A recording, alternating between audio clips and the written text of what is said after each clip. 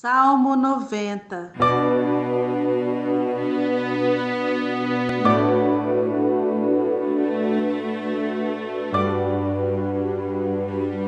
Senhor, Tu és o nosso refúgio, sempre, de geração em geração.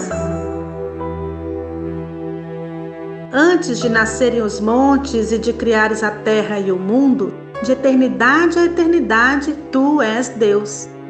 Fazes os homens voltarem ao pó, dizendo: Retornem ao pó, seres humanos. De fato, mil anos para ti são como o dia de ontem que passou, como as horas da noite. Como uma correnteza, tu arrastas os homens. São breves como o sono, são como a relva que brota ao amanhecer. Germina e brota pela manhã, mas à tarde murcha e seca. Somos consumidos pela tua ira e aterrorizados pelo teu furor. Conheces as nossas iniquidades. Não escapam os nossos pecados secretos à luz da tua presença. Todos os nossos dias passam debaixo do teu furor. Vão-se como um murmúrio. Os anos de nossa vida chegam a 70 ou a 80 para os que têm mais vigor. Entretanto, são anos difíceis e cheios de sofrimento, pois a vida passa depressa e nós voamos.